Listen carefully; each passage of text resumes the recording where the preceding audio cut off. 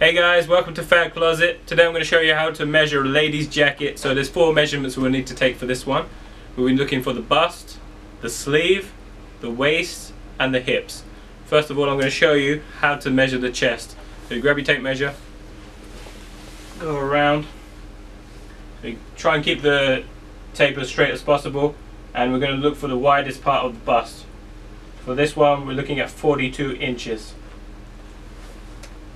And now we'll move on to this uh, sleeve. So find the midpoint of your shoulder, all the way down to the cuff. For this one, so the cuff being the wrist as well, 24 inches for this one. And then we'll move on to your natural waist. Which is pretty similar to the bust, just move down a little bit further. So you, you find your waist, but make it a little bit, a little bit more looser, so it's easier for you to breathe. 32 inches on this one. Then you just slide down a little bit more to the hips. And for the hips, it's pretty similar to the bust. We're looking for the widest part of the hips. So you may need to take a couple of measurements for this one. For this particular one, we're looking at 36 inches. But like I said, take a few measurements, find out which one's the biggest one, and then obviously add that one into it.